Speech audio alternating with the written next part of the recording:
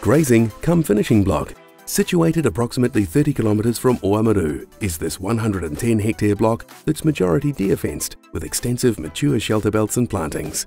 Contours are rolling to steeper faces with Claremont siltloam and hill soils.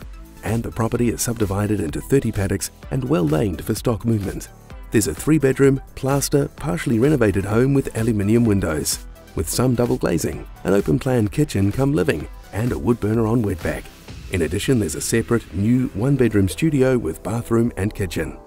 Outdoor fixtures include a three stand wool shed, covered yards, a large implement shed, deer shed, two cattle yards, and a 20 tonne grain silo. The Dunrobin scheme allows 2.5 points water and storages by way of three 30,000 litre tanks.